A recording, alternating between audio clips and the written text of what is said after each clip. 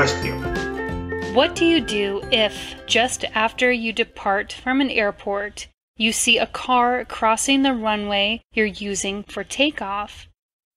If I am departing from an airport and I see a car crossing the runway I was using for depart, I call the tower and report a runway incursion.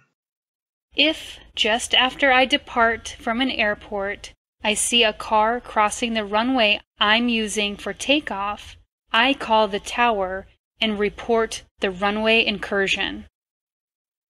How do you report the runway incursion? To report a runway incursion, I call the tower and say, Luis Tower, November 1234. After my takeoff, I saw a vehicle crossing the runway was using for takeoff. I would like to report a runway incursion.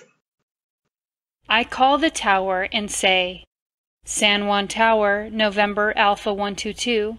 After my departure, I saw a vehicle crossing the runway I was using for takeoff.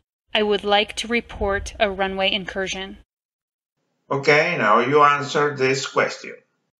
What do you do if, just after you depart from an airport, you see a car crossing the runway you're using for takeoff? How do you report the runway incursion? Your turn.